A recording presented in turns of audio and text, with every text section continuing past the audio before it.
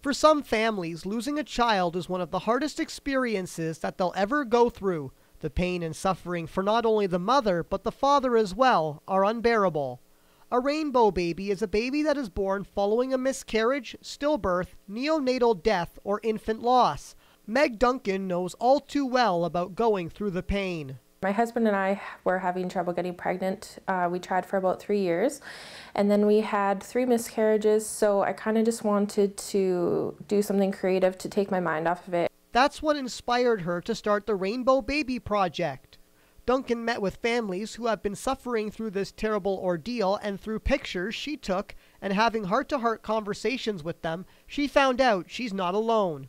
Roughly one in four pregnancies will end in a miscarriage. It's more common than I realized, and it I just kind of wanted to keep going and helping others, and so it just kind of took off from there.